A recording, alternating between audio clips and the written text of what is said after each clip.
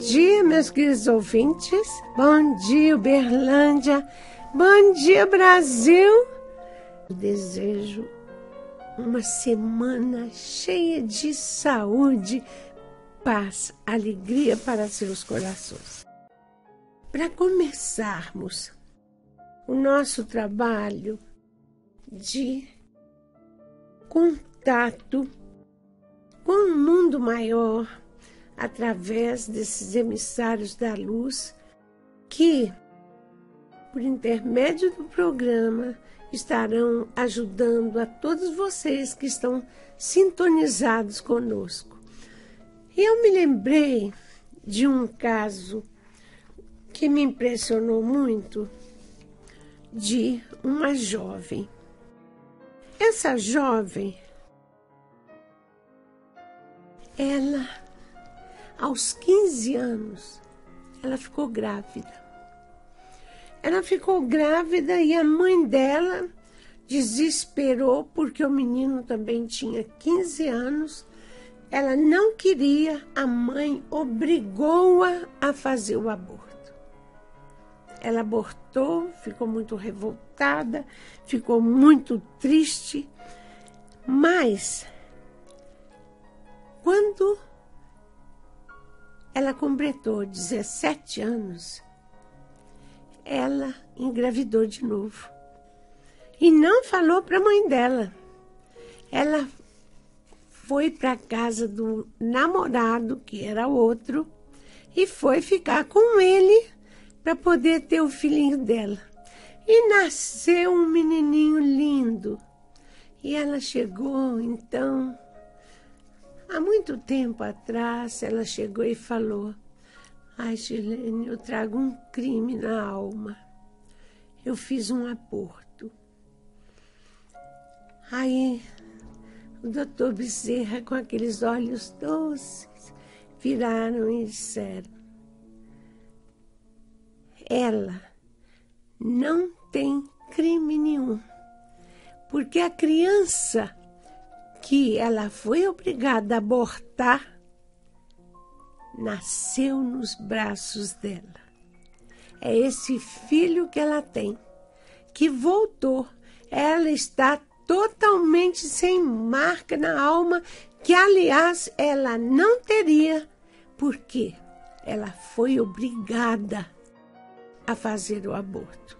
Mas Deus é tão misericordioso que permitiu que aquela criança retornasse. E ela hoje cria o seu filhinho com a maior alegria. É aquele menino muito agarrado com ela. Então, a gente vê como Deus é misericordioso. E passando na, na livraria, eu vi O Amor Me Trouxe de Volta. É um livro com histórias emocionantes sobre reencarnações em família.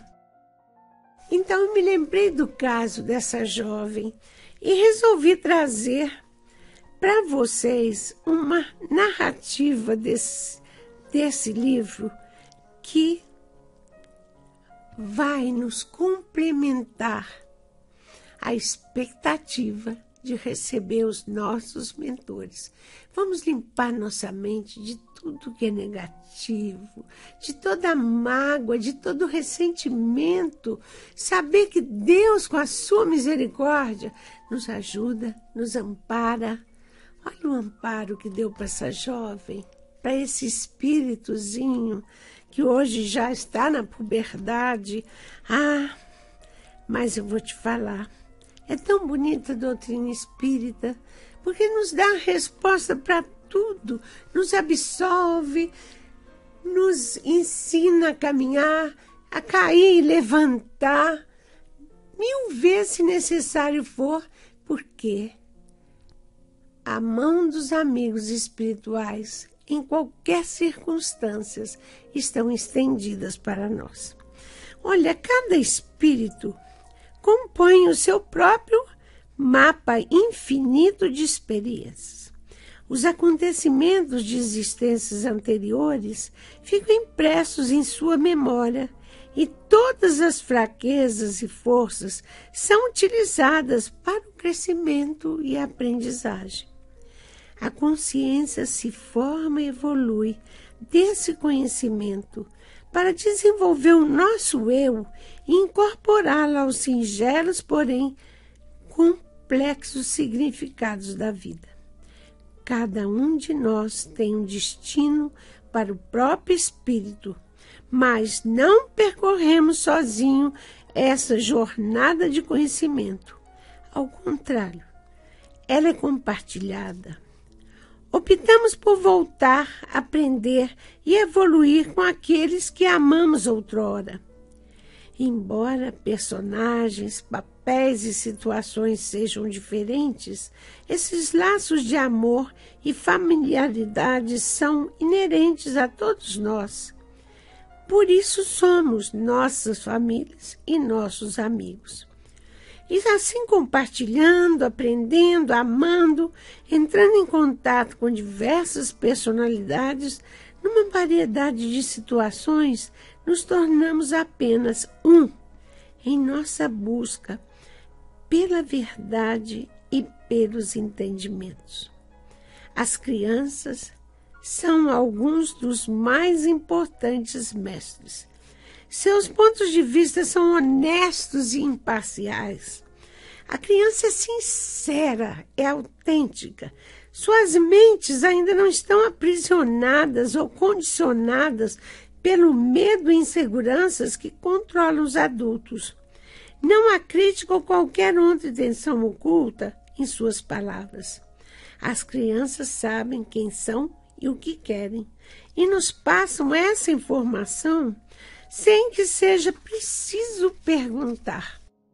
Elas também estão muito sintonizadas com a intuição. Ainda não formaram uma consciência religiosa, um sistema de crenças e por isso se baseiam em seus sentimentos ou sentidos para obter resposta. Parte dessa consciência se deve ao fato de que elas chegaram há pouco tempo do mundo espiritual e a sua maneira de pensar ainda rica de influências desse mundo além. Em nosso limitado mundo físico, tridimensional, não foram criadas máquinas capazes de medir as experiências do espírito ao longo do tempo. Quando falamos de uma alma, uma consciência ou outra dimensão, que métodos científicos podem ser utilizados? Nenhum. Em outro nível, porém, a consciência é real e tangível, como podemos perceber por meio da meditação e das experiências de quase morte e saída do próprio corpo. Compatíveis com essa situação estão aquelas em que as crianças têm memórias e fornecem detalhes consistentes que ultrapassam o seu limite de conhecimento o fato de fobias irracionais e problemas de saúde terem sido atenuados, o espírito é ilimitado. Não somos nossos cérebros, nossos corpos, nossas roupas ou nossas casas. Não somos nossas contas correntes, nossos empregos, nossos países, nem mesmo nossos nomes. Somos muito mais. Somos seres espirituais cuja língua nativa é o amor. Finalmente chegou o tempo de nos abrirmos para essa nova consciência do Espírito. É por isso que é importante, quando pensamos em nós mesmos como seres eternos, nossas vidas adquirem um papel mais significativo e percebemos os detalhes do delicado tecido de nossa existência. Compreendemos os significados que se escondem atrás de nossas interações com nossas famílias, amigos, colegas de trabalho, companheiros cristãos. Vemos como nossos pensamentos e ações anteriores nos ajudaram a moldar a vida atual e passamos a utilizar uma consciência cautelosa em cada uma de nossas escolhas, sabendo que elas terão repercussões a longo prazo. Vivemos uma vida em que essas escolhas têm enorme valor. A Terra é a escola do Espírito. É um lugar para o qual retornamos muitas e muitas vezes para avançar na estrada da autoconsciência. Nutrimos a esperança de que, com todas as nossas experiências e a variedade de cenários nos quais vivemos, alcançaremos um maior entendimento sobre nós mesmos. Somente quando formos capazes de nos enxergar honestamente e de ser responsáveis por nós mesmos, conseguiremos perceber que somos todos um ser único e contemplaremos o verdadeiro sentido de Deus. As crianças, quando reencarnam, logo de início, elas trazem muito latente algumas lembranças chave. São fatos que as marcaram muito. Um menino, filho de uma veterinária, ela que é veterinária de animal pequeno, ele tem pavor de cachorro.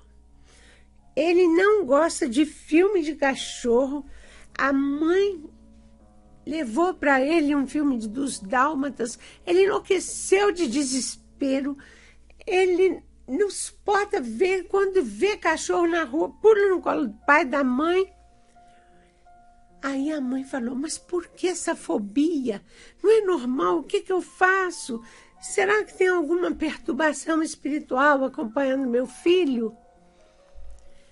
Ela levou a criança para o doutor Bezerra, porque quem sou eu para ter resposta? A espiritualidade é que tem.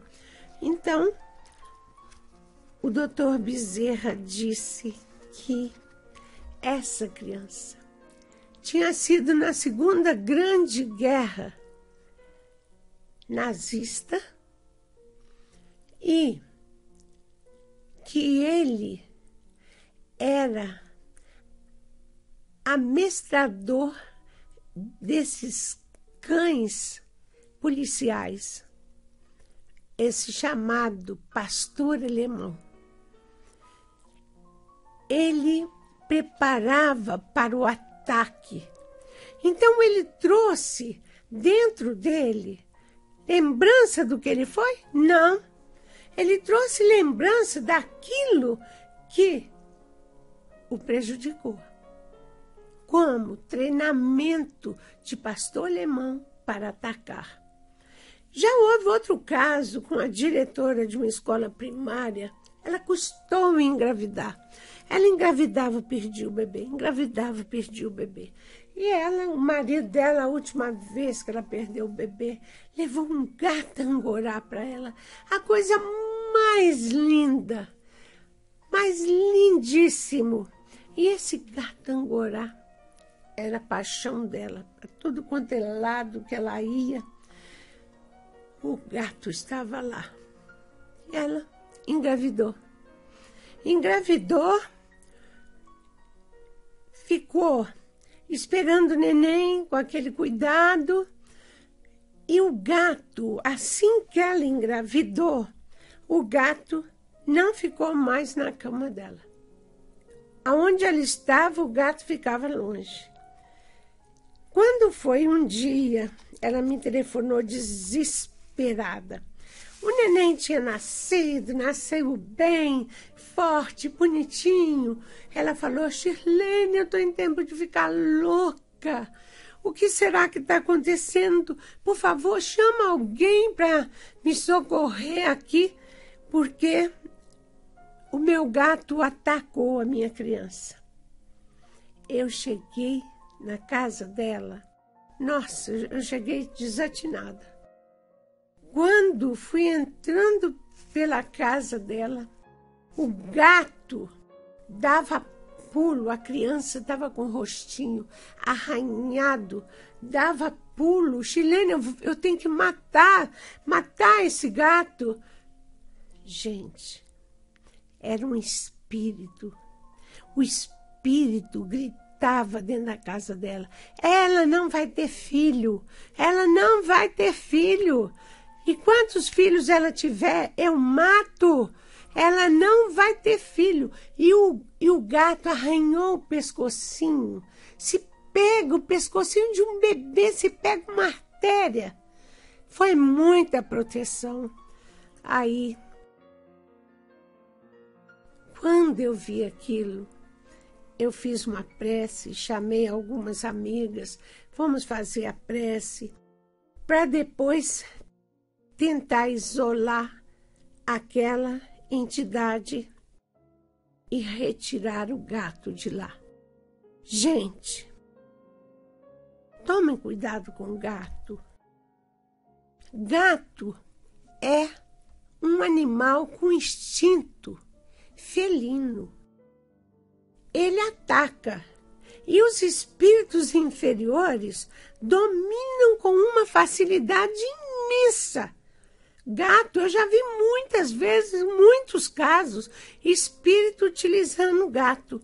Então, se vocês têm criança pequena, se tem bebê, não facilitem.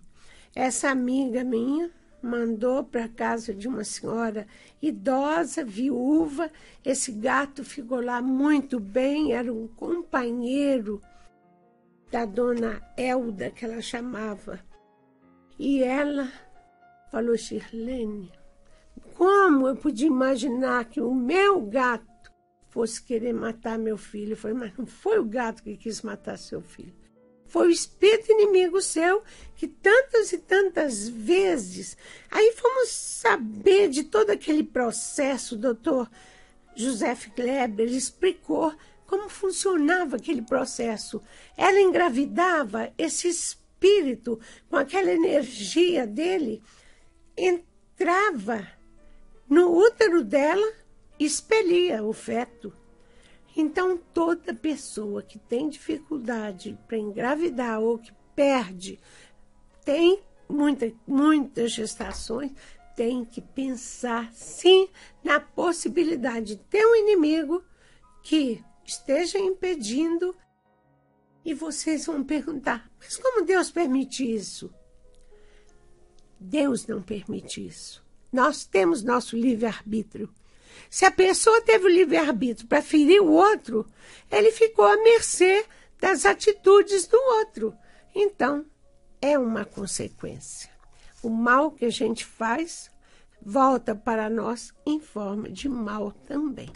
Vamos agora colocar o bolo, o pudim, as frutinhas lavadas a foto daqueles que estão difíceis, o nome, colocar para poder receberem aquela vibração dos nossos amigos da luz. Vamos nos preparar de alma e coração para receber esses nossos amados protetores, abrir a janela da nossa alma aquele que desencarnou, coloque um nome da pessoa, a data de nascimento, desencarne, a causa da morte para ser localizado no além. Quem estiver no hospital, o nome, o número do quarto, o nome do hospital, para poder ser ajudado. Eu tenho certeza que os nossos amados mentores estarão aí com vocês nesse instante ajudando, amparando, melhorando os roteiros de suas vidas. Vamos então orar de alma e coração.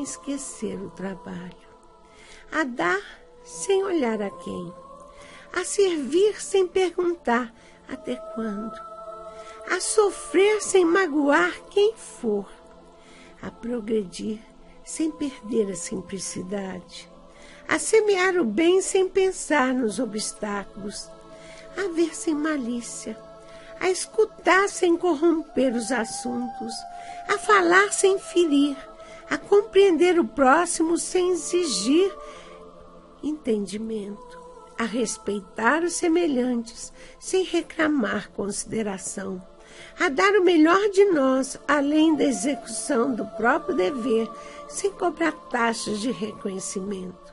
Senhor, fortalece em nós a paciência para com as dificuldades dos outros, assim como precisamos da paciência dos outros para com nossas dificuldades. Ajuda-nos, sobretudo, a reconhecer que a nossa felicidade mais alta será, invariavelmente, aquela de cumprir os desígnios, onde e como queiras, hoje, agora e sempre. Que assim seja.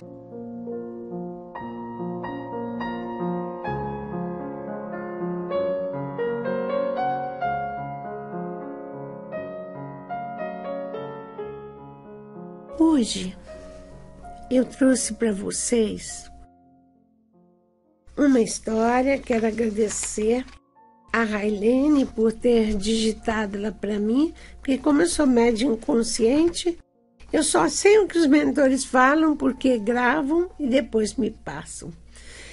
Fala sobre uma cigana e uma colombina. Nós vamos voltar no tempo. Nós vamos voltar na história de vidas, essas vidas que vocês possuem e que também estão fazendo histórias. Cada dia uma página virada, porque a vida é uma escola onde aprendemos, onde podemos também ser professores. E não há nada que seja mais misericórdia com uma mestra caridade.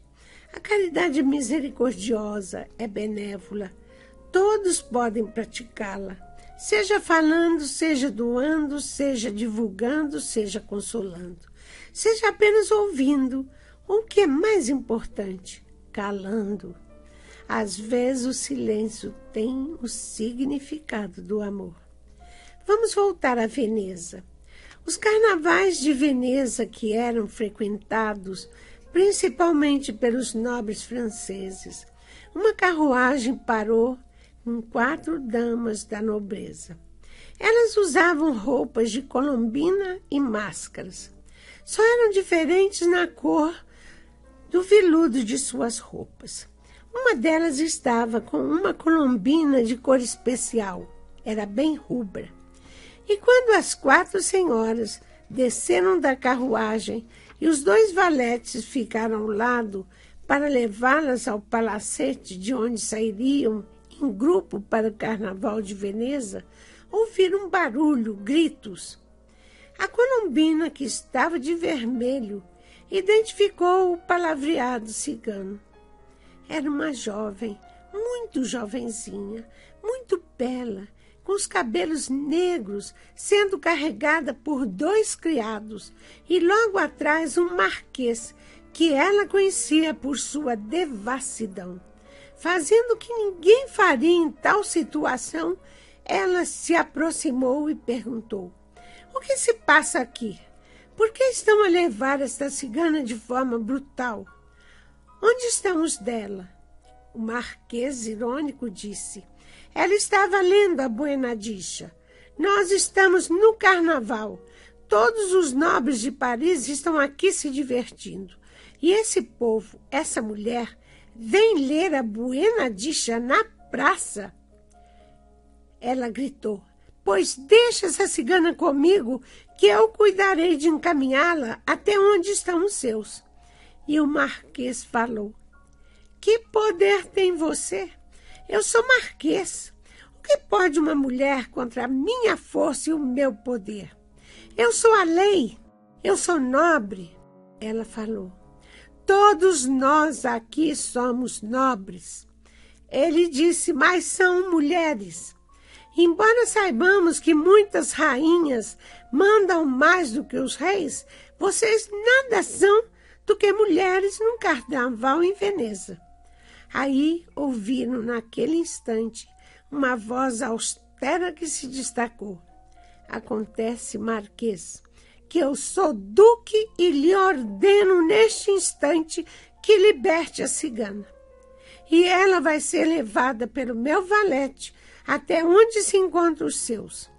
A cigana disse para a colombina de vermelho: Somos poucos, somos apenas seis ciganos, quatro homens e duas mulheres. E o duque disse: Leve até onde estão os seus. A colombina, de vestido rubro, de fantasia rubra de máscara, entregou para ela uma bolsinha de viludo com algumas moedas de ouro e disse: Vá embora de Veneza. Pegue os que são do seu povo e vá embora. Vá embora agora. O duque disse: Eu vou garantir a saída deles de Veneza. Não precisa se preocupar. O marquês, olhando para o duque, falou cheio de ódio. Até as pedras se encontram. Um dia eu ainda estarei me vingando nos ciganos a humilhação que hoje passei. E se foi com seus valetes. Um marquês que era só luxúria. E a colombina, olhando para o duque, disse: Senhor duque, não sei como lhe agradecer a intervenção tão oportuna e tão humana. Eu pensei que o senhor apenas desse banquetes com muitos talheres de ouro. Jamais pude imaginar que o senhor fosse defender pessoas de classe tão reles, pessoas que nem sequer são consideradas pessoas, com seus memoráveis banquetes. Eu jamais poderia imaginar que houvesse dentro desse peito um coração sensível. Eu não tenho nada para lhe dizer. Fiz o que me competia fazer. A minha posição de nobre defendendo uma mulher indefesa das garras de um marquês de Vasso. Eu gostaria que esquecêssemos todos esse lamentável espetáculo. E ele se foi. Mas assim como disse o marquês, as pedras rolam, se transformam em seixos e se encontram nos leitos dos rios onde corre a vida. Esse marquês foi à Espanha. Chegando à Espanha, em Sevilha, com outros também nobres sem nobreza, ele viu passar nada mais, nada menos que a cigana de Veneza. Era tudo o que ele mais desejava. Era aquela vingança torpe, mas não. Ele iria muito mais longe do que uma vingança desferida numa pobre jovem defesa. Ela já trazia o lenço no cabelo que indicava que já estava casada. Ele pensou então num sofrimento que pudesse não só atingi-la, mas atingir também aquilo que ele considerava o maldito povo cigano. Ele procurou um cardeal e falou: Cardeal, tenho provas, tenho testemunho de que uma cigana que se encontra num bando e que eu posso apontar a dedo com esbirros do rei de Espanha, que é feiticeira. Eu a vi enfeitiçar com seus olhos um nobre, um duque. Ela o fez perder totalmente a vontade. Ele ficou paralisado diante dela. Ela é feiticeira e merece ser castigada. Ela é uma afronta ao Cristo. Ela é uma afronta à religião. Na sua carruagem, junto com o cardeal, seus valetes desceram. A cigana lá estava com os afazeres da tarde, já preparando a fogueira. Ela foi arrastada pelos cabelos, pelos seus longos cabelos. Todos armados, os ciganos estarrecidos nada puderam fazer.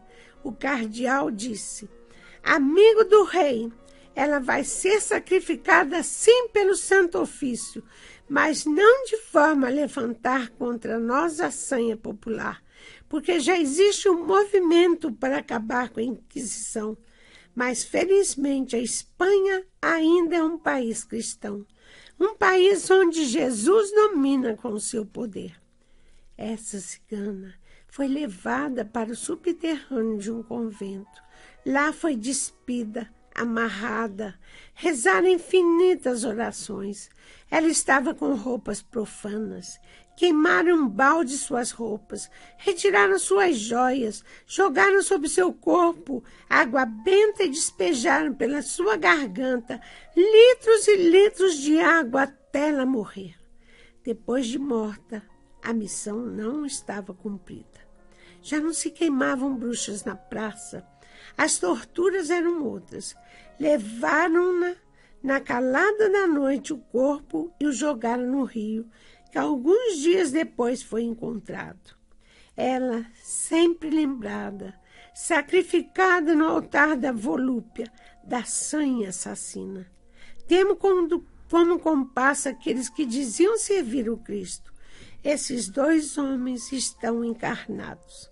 Reencarnaram no Brasil. Todos os dois, e por incrível que pareça, fazem parte da lei humana, defendem a lei terrena e são amigos, tanto o marquês quanto o duque, e ainda trazem no coração o preconceito e ainda sentem lá dentro vibrando, embora ainda se digam cristãos, muito católicos, a grande dúvida. O que existe além do corpo? De onde eu vim quando criança? Para onde eu irei depois de morto? A grande dúvida que paira na alma desses dois representantes da lei na terra. Vemos que o Cristo, que foi sempre respeito e bondade, que foi molado no calvário de dor por preconceito, para negarem o seu poder de amor. Mas depois tornou muito conveniente usar a imagem daquele nazareno para dominar. Jesus era o poder de Deus, mas para os homens ele é o poder na mão e passou então Jesus a ser reverenciado com púrpura, ouro, palácios, reinados impérios. Mas o Consolador prometido por Jesus chegou. Chegou o Espiritismo para esclarecer todas as criaturas numa fé raciocinada, o porquê das nossas dores, o porquê de nossos sentimentos, o porquê de nossas provas, e veio esclarecer, tendo como base o respeito a todas as pessoas, a todas as raças, sem nenhum preconceito. Quem pode ter preconceito e julgar alguém se todos nós estamos sentados no banco dos réus? Porque trazemos de vidas passadas tantos crimes para serem ressarcidos. Julgar como? Por quê? Com que direito? Às vezes não precisamos nem ir a vidas pretéritas, basta olharmos a nossa vida de hoje. Por que nos sentarmos na posição de juiz quando somos todos culpados? Ainda continua um preconceito avassalador. Os primeiros a serem exterminados por Hitler foram os ciganos. As perseguições sempre são desencadeadas sobre esse povo que tem garra, raça, força, sabem gritar, sabem falar, nada teme, mas que vieram também na condição de ciganos para domar o orgulho e preconceito, sim. Por isso são discriminados mas todas as dificuldades que enfrentam e enfrentaram fizeram com que se reerguessem da fragilidade onde o braço da lei e do poder alcançava para a redenção de suas almas. É o do nosso querido Charles, Dr. Charles, um dos mentores que tanto me ajudam e que eu tanto amo. Hoje eu tenho uma convidada especial para vocês. É a nossa Cleide, Cleide Nogueira da Silva, a nossa Lourinha. Cleide, obrigada por ter conseguido um horário para os nossos ouvintes. O que, que você tem para eles hoje? Os nossos ouvintes são todos seus. Bom dia a todos. Eu trouxe para vocês algumas citações e trechos do livro Psicologia da Gratidão, de Divaldo Franco, pelo espírito de Joana de Ângeles. Eu achei muito interessante porque quase sempre pensamos na gratidão como consequência de algo bom que nos acontece, ou seja, num aspecto limitado, e nós veremos o quanto é amplo. Ele coloca a gratidão como instrumento de cura de muitos desequilíbrios, trazendo-nos a saúde, a alegria e como um recurso para a aquisição de paz, da paz e principalmente a gratidão como roteiro de vida. Então, passarei a leitura de algumas colocações do seu livro.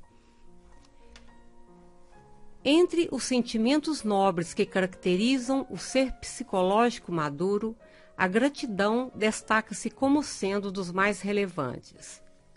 Comumente, na maturidade emocional, acredita-se que a gratidão é uma retribuição pelo bem ou pelos favores que se recebe, consistindo em uma forma de devolução, pelo menos em parte. A gratidão é um sentimento mais profundo e significativo, porque não se limita apenas ao ato da recompensa habitual. Quando se reflexiona em torno da gratidão, quase imediatamente se pensa em devolver parte do que foi recebido, o que a torna insignificante e destituída de valor. Permanece aí a visão materialista, imediatista, sem os conteúdos psicológicos renovadores.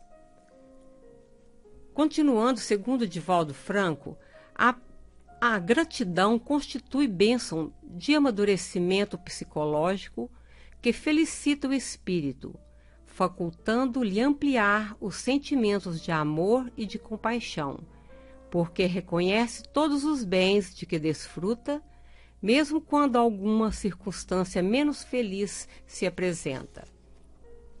A vida é, sem dúvida, um hino de gratidão a Deus em todas as suas expressões Equivocadamente se pensa em gratidão quando somente sucedem as ocorrências felizes, quando são recebidos benefícios de qualquer tipo, dando lugar à retribuição como maneira ética do bom proceder. A gratidão real e nobre vai além da retribuição gentil, afável e benéfica, manifestando-se também nas situações desagradáveis, de dor, de sombra, de enfrentamentos agressivos.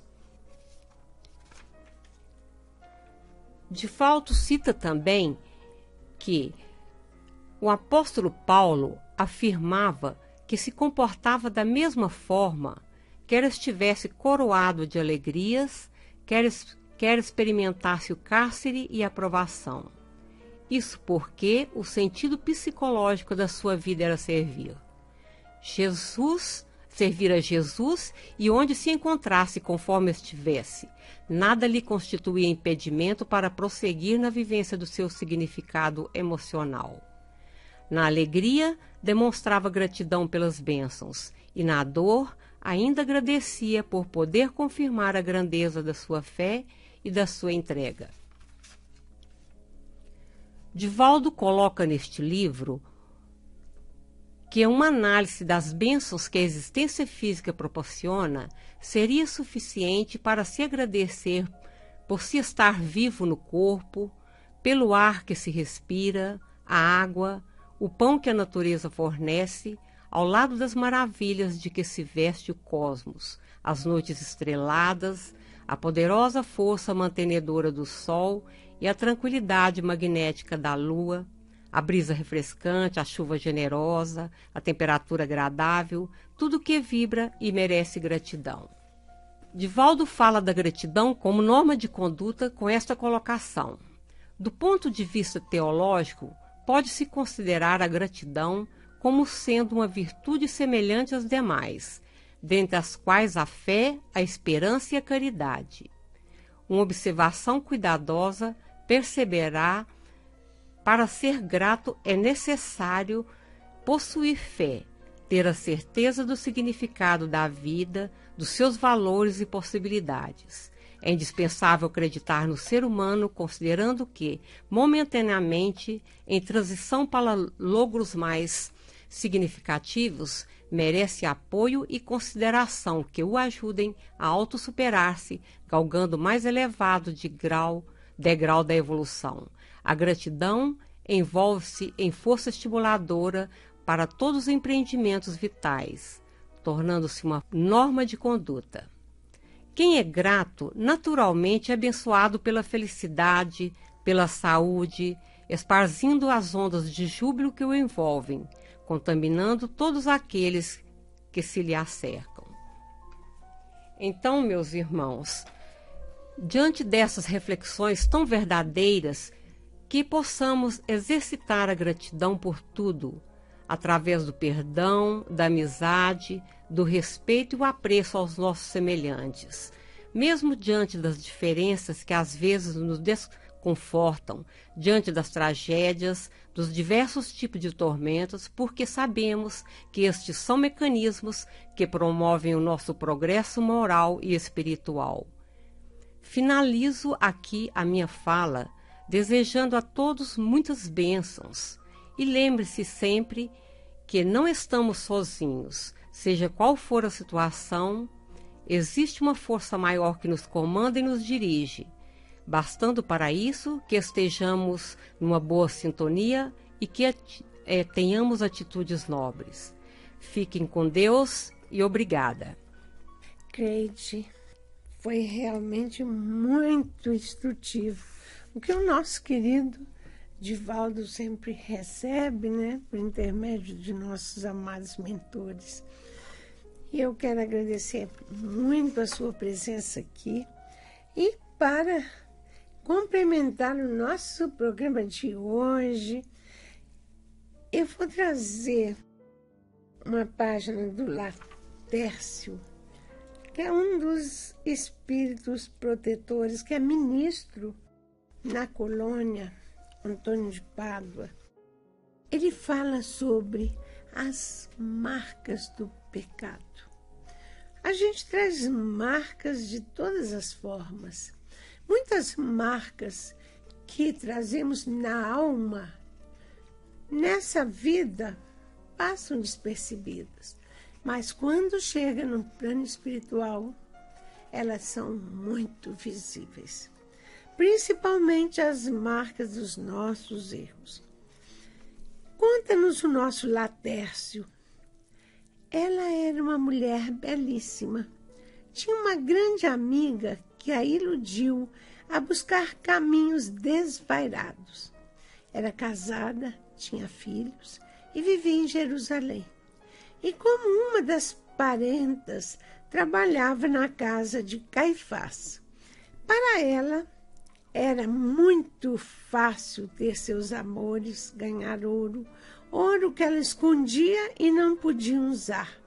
Era o ouro do pecado, o ouro da traição. Mas aquilo que a satisfazia de todas as formas, olhar aquele ouro, manipular aquelas joias para ela, era tudo. Embora vivesse numa casa humilde com seu esposo e seus filhos lá na casa de Caifás, sem que ele nem mesmo soubesse, ela se encontrava com os centuriões com a soldadesca. Até que um dia aconteceu aquilo que não se pode classificar de tragédia, porque existem determinadas situações que acontecem que nós achamos trágicas e que é a chave da libertação para nossa alma. Essa mulher foi levada para a praça pública, fora denunciada como adúltera. Um homem que a amava muito denunciou aos sacerdotes. E a pena para a mulher que agia como ela, duas agiam, era o apedrejamento em praça pública.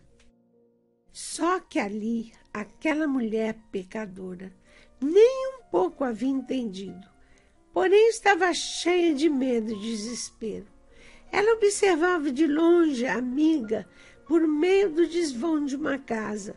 Observava todos aqueles homens prontos para apedrejar a sua companheira, aquela que a havia induzido ao pecado e que despertara nela o amor pelo ouro.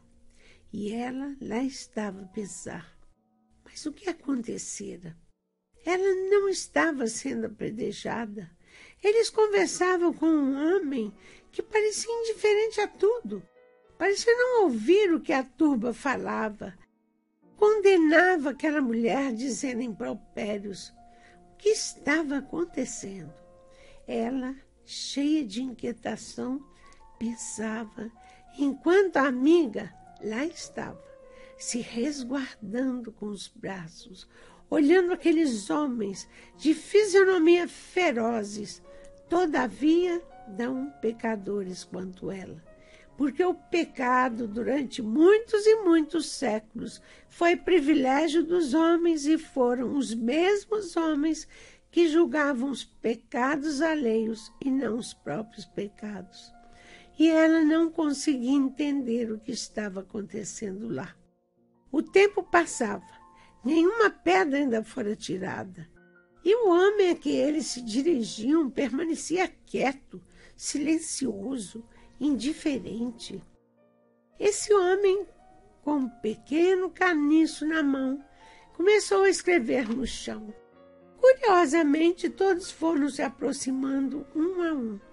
Os mais idosos se aproximaram primeiro, pois eles possuíam mais sabedoria, mais experiência de vida.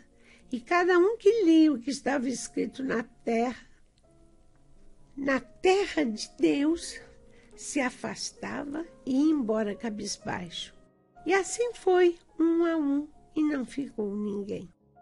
E ela ouviu quando a amiga perguntou para o homem: Senhor, o que vais fazer comigo? E ele respondeu, e alto e bom som, querendo que não só ela ouvisse, mas todos aqueles que poderiam estar escondidos por detrás de uma porta fechada. Onde estão aqueles que lhe condenaram? Ela respondeu: Foram embora, Senhor. E Jesus falou: Então eu também não te condeno. Vá e não peques mais. Ela não acreditou que estava liberta do apredejamento. Ela não acreditou na bondade daquele homem. Ela foi andando com passos vacilantes quando dois braços a puxaram para dentro de uma casa. Era sua amiga. A amiga perguntou: O que aconteceu? Você ia ser apedrejada? Três homens depuseram contra você. O que aconteceu?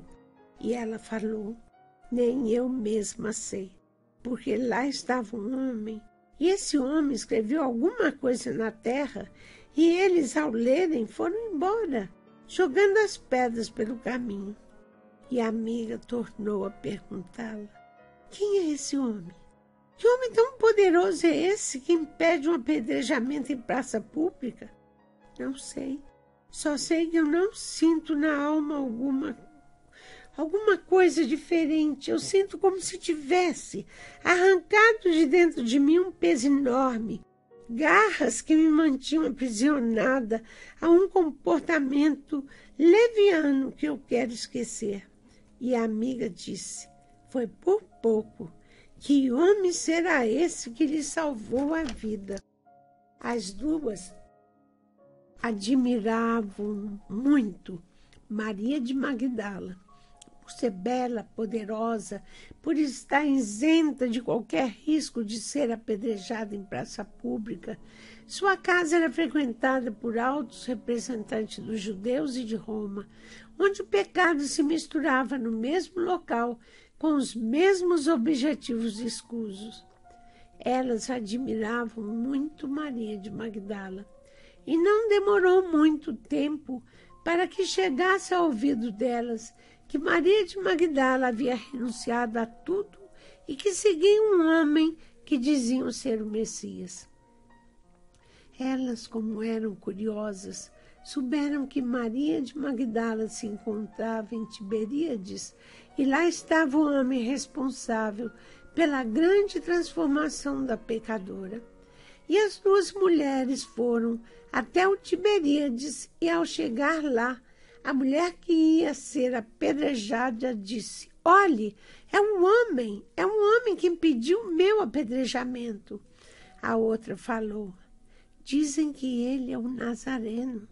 Não há como não ver que ele é Nazareno. E as duas mulheres avistaram Maria de Magdala, que estava bela, muito mais bela que sempre. Foi despojada de todo o ouro despojada de tudo aquilo que lhe pesara tanto, pois lhe enfeitava o corpo, porém lhe enfeiava a alma.